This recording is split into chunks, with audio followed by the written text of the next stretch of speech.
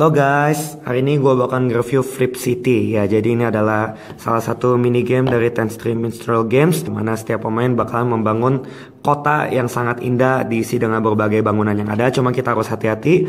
Kita mungkin boleh mengejar keuntungan, tapi kalau kita mengejar keuntungan melebihi bahagian masyarakat yang ada, kita bisa nggak jadi menang. Nah, jadi ini bisa main 1 sampai 4. Tandanya apa? Ini bisa main solo. Oke, jadi kita bakalan buka dan kita lihat komponennya sederhana aja ada rulebook dan sejumlah kartu. Udah, itu aja, gak ada yang lain kok. Jadi kita bakal langsung lanjut ke bagaimana cara mainnya. Sebelum gue mulai tutorial, ada satu fakta penting yang perlu kalian ketahui. Kartu dalam permainan Flip City ini adalah double sided ada namanya sisi awal dan sisi upgraded ya, sisi yang udah di improve. Nah, sisi awal itu yang ada harganya di atas ini. Jadi ini adalah sisi awal, sisi awal, sisi awal karena kalau kalian balik belakangnya itu nggak ada harganya. Kecuali ada satu bangunan namanya residential area. Ini tuh nggak ada di market, dia setiap pemain pasti dapat. Nah, sisi awalnya residential area, belakangnya jadi apartemen kayak gitu. Pertama-tama kita bakalan set marketnya dulu ya. Jadi ini adalah bangunan-bangunan yang potentially bisa kita tambahkan ke perumahan yang udah ada. Nah, jadi ada rumah sakit, ada taman pusat, ada pabrik, dan ada juga toko kelontong. Gue nggak tahu lah namanya apa.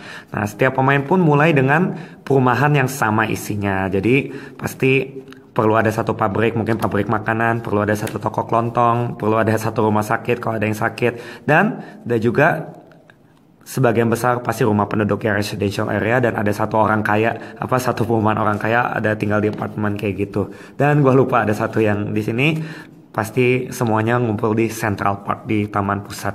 Nah deck ini akan dikocok tapi ingat selama kocok seperti yang gue bilang jangan pernah dibalik ke belakangnya selalu kocoknya ngadep ke atas dan apa satu info tambahan lagi informasi yang ada di atas kartu ini sangat penting dan itu bisa mempengaruhi keseluruhan pemain ini. Jadi daripada kita membocorkan apa pun, diusahakan setiap kali kita mengocok deck kita lakukan kalau kita mainnya di atas meja ya kita kocok di bawah meja. Yang penting selama kita kocok kita nggak lihat apa proses mengocokannya. Nah kalau udah selesai kocok kita bakalan pegang di tangan kita rapet.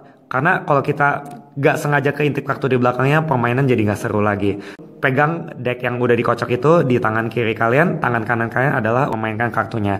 Nah setelah setiap pemain melakukan hal yang sama, kocok di bawah meja atau kalau kalian nggak main di meja, kocok di belakang punggung kalian, lalu udah pegang kayak gini, udah permainan pun siap untuk dimulai. Jadi di giliran pemain aktif itu sangat sederhana. Dia dibagi menjadi dua fase. Fase yang pertama adalah playing cards. Jadi dalam hal inilah kita bakalan mengaktifkan bangunan-bangunan yang ada di perumahan kita untuk dapetin uang, dapetin apa poin dan juga terkadang ada dapat apa reputasi buruk dari masyarakat yang ada.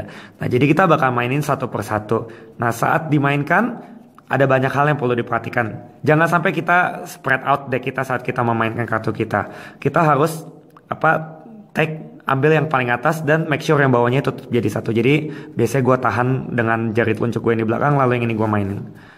Nah, pemain boleh mainin kartu sebanyak apa pun. Jadi di tangan udah nggak ada kartu, maka pemain boleh memutuskan untuk stop atau boleh kocok discard pile-nya. Karena dalam, dalam hal ini ada kartu di tangan itu namanya deck ada kartu yang dimainkan di play area, ada juga kartu dari ronde-ronde sebelumnya ada di discard pile seperti itu. Jadi kalau misalkan kartu di tangan kosong, boleh stop, boleh juga kocok kartu yang ada di discard pile, terus mainin kartu yang baru seperti itu. Nah, jadi ada beberapa elemen dalam apa kartu yang ada. Nama nggak penting, itu cuma tematik doang. Ini harga cuman apa berpengaruh saat kita mau beli bangunan yang baru dari market. Nah, lalu ada lambang-lambang yang penting ya. Pertama-tama kita pelajari dulu simbol-simbol yang ada ya. Simbol yang paling gampang adalah simbol koin. Nah, ini adalah koin yang bisa kita pakai untuk membeli bangunan baru. Jadi kalau misalkan gue punya 4 koin 1 2 3 4 gue bisa beli hospital harganya 4. Lambang yang kedua adalah victory points. Ini adalah salah satu cara pemain bisa menang. Saat kita bisa memainkan 8 simbol victory points ini dalam satu play area yang sama pemain tersebut otomatis menang cuman kalau kalian perlu tahu dalam deck awal kita kita itu nggak punya victory points selain di Central Park dan cuma ada dua. Jadi untuk bisa menang dengan cara ini kita pasti perlu tambah-tambahin kartu-kartu poin yang ada. Simbol berikutnya yang paling nggak disukai adalah unhappy unhappy smiley face. Gua nggak tahu lah ini simbol apa ke tidak suka rakyat terhadap kita sebagai developer atau apa kayak gitu.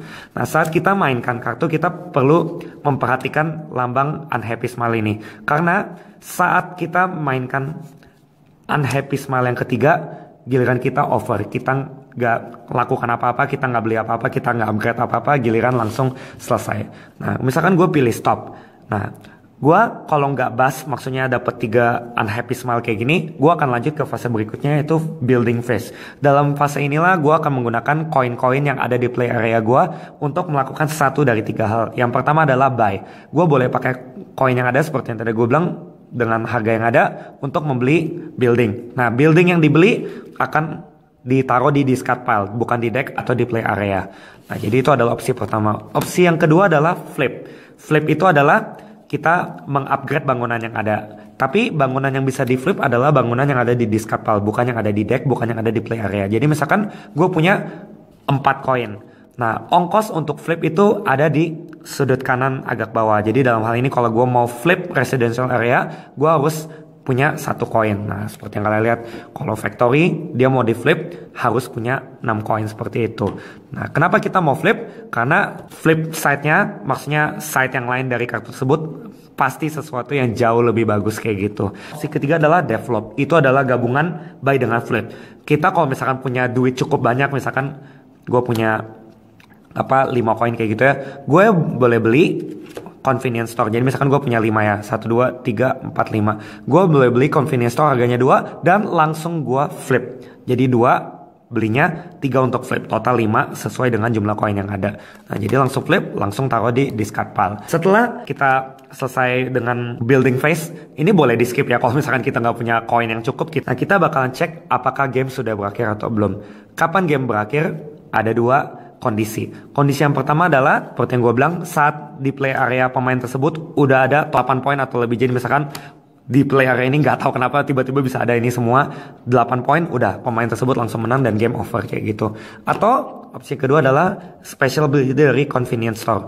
Kalian bisa lihat if you play 18 cards 18 or more cards this turn you win. Jadi kalau misalkan ada convenience store dan gue bisa mainin 18 kartu di play area gue, gue langsung menang. Gue nggak tahu kenapa itu bisa terjadi, cuman mungkin aja. Kalau sampai winning conditionnya belum tercapai, maka permainan akan terus berlanjut. Itulah basic dari permainan ini. Yang bikin seru adalah special ability dari bangunan yang ada yang akan segera kita lihat sekarang. Residential area ini yang paling menyebalkan. Kalau sampai residential area atau teratas di deck kita, kita harus mainkan itu. Dan kalau kalian tahu, dia ada unhappy smile. Jadi, misalkan gue udah punya dua.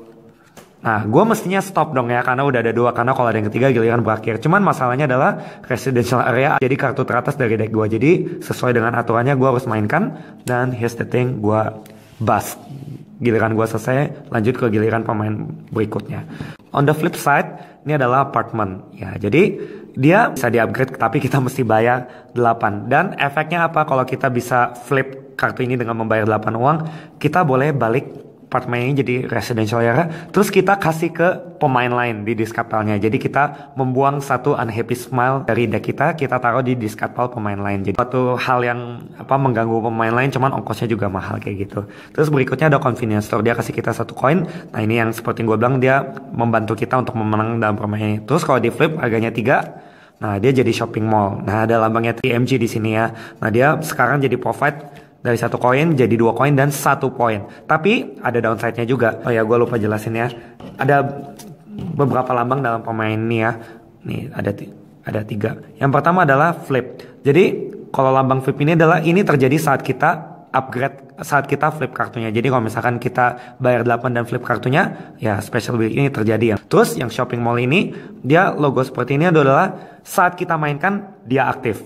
Nah jadi shopping mall ini saat kita mainkan kalau sampai deck kita masih ada isi, kita harus mainkan kartu berikutnya. Jadi ini agak risky juga. Takutnya habis kita mainin shopping mall, terus ada nepis kita langsung bust kayak gitu. Tapi lumayan dua koin dan satu poin. Terus kalian mungkin notice di sini ada panah sebaliknya. Ini panah warna hijau. Itu adalah logo recycle. Logo recycle bisa kita pakai saat kartu tersebut ada di discard pile. Jadi setiap beberapa kartu itu ada logo recycle. Tapi kalau yang residential area tadi nggak ada ya dua-duanya flip kayak gitu. Nah, jadi kita boleh flip balik maksudnya recycle ya dan kita dapatkan benefitnya tapi itu one time use doang ya. Jadi misalkan gue desperately need satu koin tambahan. Nah terus di discard pile gue ada shopping mall. Gue boleh recycle ini. Dengan syarat gue harus downgrade kembali lagi jadi convenience store. Tapi di turn gue yang kali ini gue dapat satu koin tambahan. Terus yang berikutnya adalah hospital. Ini tempat rumah sakit tempat orang-orang yang bermuka seperti ini berkumpul. Jadi saat hospital dimainkan, ingat ini lambangnya yang aktif saat dia dimainkan, maka dia akan menghasilkan satu koin untuk setiap unhappy face yang ada sebelum hospital tersebut. Jadi misalkan sebelum hospital kita udah ada apartemen, terus kita taruh hospital. Nah, sekarang jumlah koinnya adalah satu dua terus karena hospital dia bisa merubah unhappy face menjadi koin jadi satu dua. Jadi ini adalah cara yang bagus untuk memanfaatkan unhappy face menjadi uang. Nah terus kita bisa flip kosnya 4 dan dia menjadi gereja. Add plus one to your unhappy face limit distance. Jadi awalnya kita cuma boleh punya dua.